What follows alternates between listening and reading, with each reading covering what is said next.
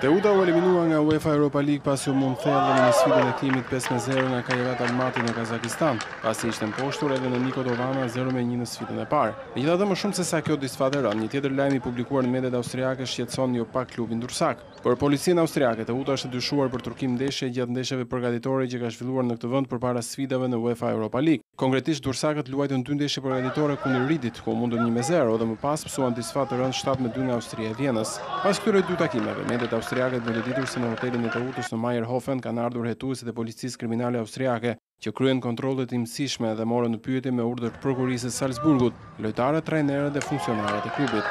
Ato kanë sekuestruar telefonat celularë dhe dokumenta të shkruara, për më shumë detaje në lidhje me këto dy ndeshje të zhvilluara. Për momentin të dhënat po hetohen nga Njësia për Luftën Kundër Krimit të Organizuar që drejtohet nga Franz Schwarzenbacher. Kriminalisti me shumë përvojë ka deklaruar për mediat austriake se nuk po hetohen ekipet e Riedit dhe të Austrisë Vjenës, por vetëm ekipi shqiptar Teuta që luajti miqësore me to.